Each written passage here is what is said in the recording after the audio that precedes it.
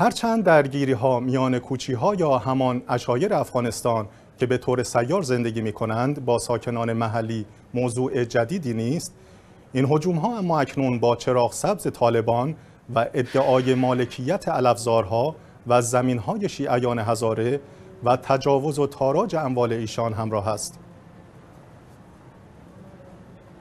بر اساس گزارش های منابع محلی در غزنی کوچی های افغانستان در برخی نقاط این ولایت با تیراندازی به ساکنان محلی ادعای مالکیت خانه ها و زمین های مردم را دارند.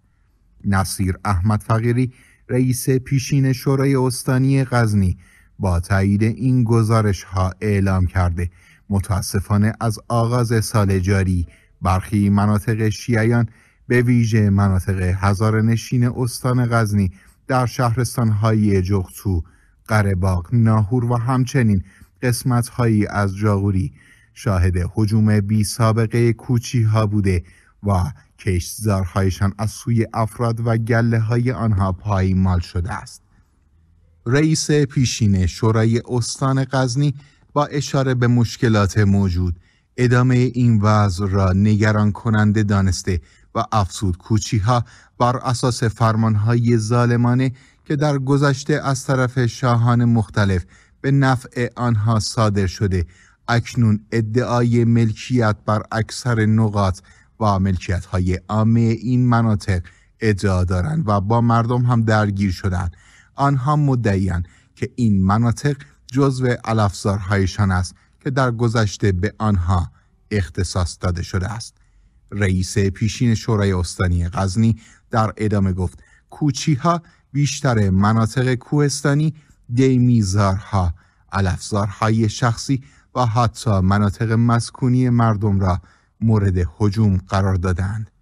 وی با انتقاد از بیتفاوتی مسئولان محلی اداره طالبان در این مناطق به شکایت های مردم می‌گوید که مردم محل تا کنون شاهد هیچ گونه اقدامی از طرف این اداره در برابر حجوم کوچی ها نبودند.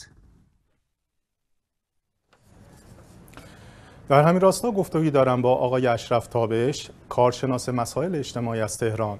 سلام وقتتون بخیر. سلام وقت شما بخیر. سلام ببینید شما. در خدمتتونم. ممنون تشکر. آقای تابش کوچی های افغانستان چگونه گروهی بله. و بیشتر از چه قومیت هایی هستند کوچه های افغانستان بله لحاظ قومی تباری و اتنیکی عمدتا پشتون هستند و با زبان پشتو که یک از زبان های رسمی دولت افغانستان است صحبت می‌کنند و به لحاظ فرهنگی هم مذهب هستند این گروه به شکل دست جمعی در افغانستان زندگی دارند و شغلشون هم دامداری و مالداری است البته شکل زندگیشون به شکل سیار هستند یعنی محل استقرار دائمی و مشخص ندارند آقای تابش با توجه به اینکه درگیری کوچی ها با ساکنان محلی در بله. افغانستان سابقه داره ویژگی درگیری های اخیر بله. چیه که این موضوع را بیشتر بحث برانگیز کرده؟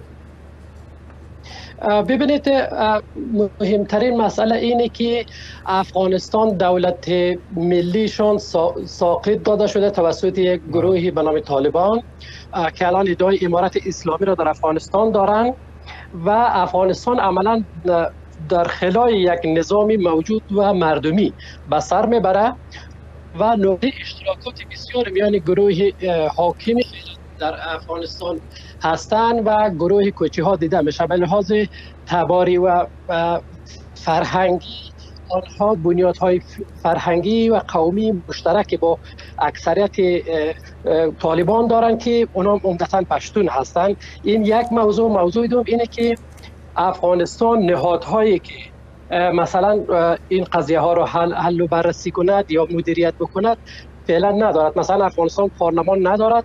قبلا ما کمیسیونی رسیدگی به اموری کوچه ها و اینها داشتیم. هم فعلا نداریم و از به لحاظ مشترکاتی که میان این گروه و گروه کوچه ها و دولت فعلی است اینها از حمایت و پشتیبانی گروه حاکم فعلی افغانستان هم برخوردارند متاسفانه. انگیزه و اهداف حمله کوچی ها به مناطق شیعه نشین چیه؟ و این حجوم ها چه فجایی رو برای ساکنان محلی به بار میاره؟ ببینید بحث کوچی ها یک معزل تاریخی است. یک معزل مثلا چند, چند دههی هم نیست. یک معزل یک قرن است. حداقل در یک قرن اخیر که آنچه که خیلی مشهود است این است که زمامداران توتالیتر که عمدتا پشتون تبار بودن در صدت حذف مثلا اقوام شیعی در افغانستان بودن. مثلا اونها حتی در موارد در مواردی مثلا رافضی خطاب می‌کردن به مثلا شیعه های افغانستان. و این در سپهر یک سیاست کلان این بحث کوچه ها گنجانیده شده است که هدفشان مثلا کوچ دادن و کوچ اجباری مناطق هزارنشین و مثلا که عمدتا شیعه هستند شیعه نشینن. اونان و متاسفانه هر بار که اینها در بالای مزرعه مردم با, دام با مالدارانشان که مثلا حمله می‌کنن خب مردم محل مجبور هستن به خاطر اینکه زندگی روزمره خود را از دست ندهند باید مقابله بکنن دیگه. خب در نبود یک دولت پاسخگو و مسئول این منتج به درگیری میشه که هر باری که مثلا حمله کردن در این مناطق شیعه ما شاهد فجایعی بودیم که مثلا خانه های مسکونی در جریان تبادل آتش سوخته و این کوچه های اکیز فراموش نکنیم که اجازه حمل سلاح رو با خود دارن. تشکر می‌کنم آقای تابش. اشرف تابش از تهران با ما بودند.